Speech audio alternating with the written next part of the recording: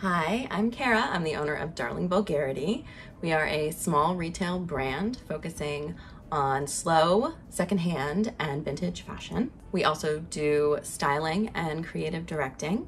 For our first YouTube series, I'm going to focus on a brand that I really love. It really made me fall back in love with fashion after having a baby and not feeling very good about myself. I hope to one day be able to sell Selkie on my retail site. For now, I am just a Selkie fan. So I'm gonna show you a few of my dresses. I'll do a quick review and then I'll offer some styling ideas. Let's get started. This first dress is new to me. It is the Yorkshire print in the Romantics style. I think this is a beautiful dress. It's cotton.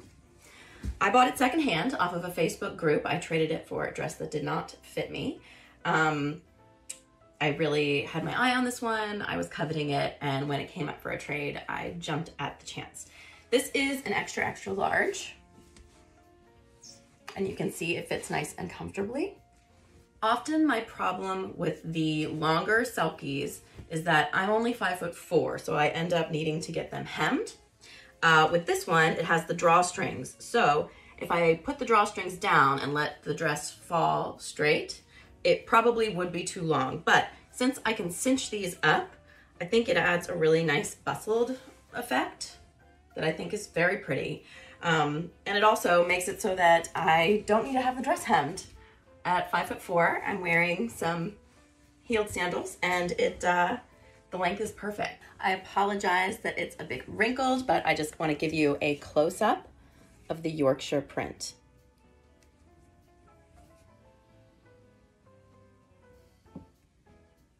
As far as styling this one, I really love the idea of playing up the pastoral romanticism of the print and the design with a nice crocheted shawl.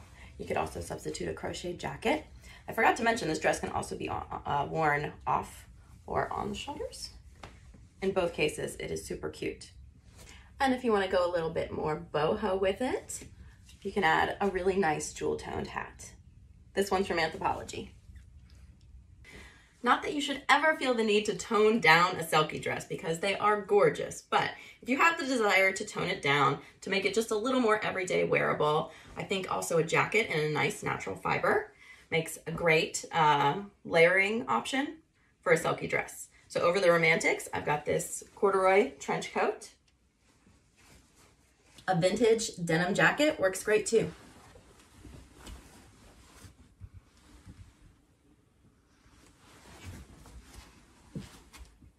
And if you're not trying to dress it down and you really want to pull out all the stops and romance it up, I cannot recommend Selkie corsets enough. They pull you in just the right way so that they're comfortable, but they add a lot of shape. This is the Duchess corset and the color is Sparrow, which goes perfectly with the Yorkshire color scheme. Selkie recently had their surprise bag sale, and so I ordered some surprise bags.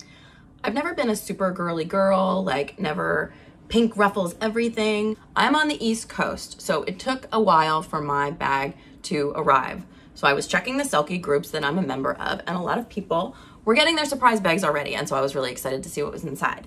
And I saw a lot of people getting the Marie style in the Parfait Poet color. This is not a dress that I ever thought I would buy.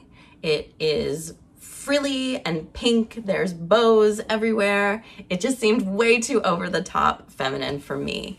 But I started seeing it come up in people's surprise bags and I realized that I was hoping it would be in mine.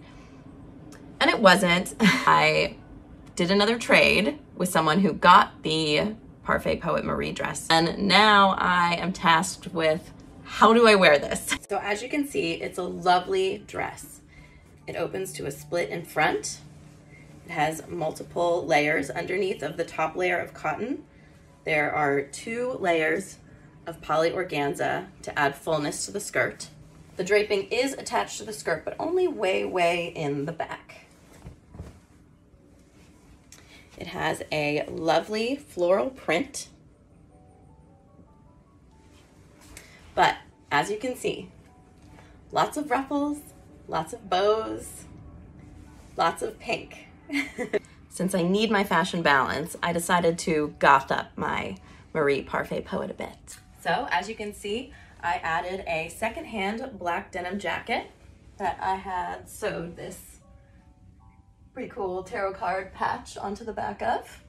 And then I think a top hat and some heeled lace up Victorian style boots. And maybe you just want to make the dress a little bit more casual so you can wear it out with friends. Selkie has all of these really super comfortable pullovers. This is one of their older styles, but they have new ones coming out all the time. The sizing is very generous, so you can always size down. I would just do it with a messy ponytail.